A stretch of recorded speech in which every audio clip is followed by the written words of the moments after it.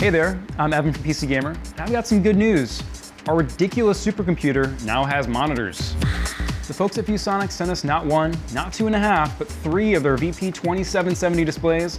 We've dialed them all the way up to their maximum combined resolution of 7680 by 1440.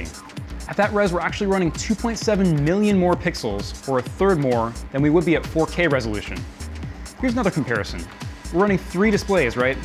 But in terms of pixels, we're packing in the equivalent of more than five 1920 by 1080 monitors. We really like the image quality, color, and deep blacks we get on these IPS displays. And we think the wide 178 degree viewing angle should come in handy when we show off the LPC at gaming expos and LAN parties. Like any piece of the LPC, our monitor setup will evolve. We'll look forward to going even bigger in 2014 as we get our hands on 4K displays.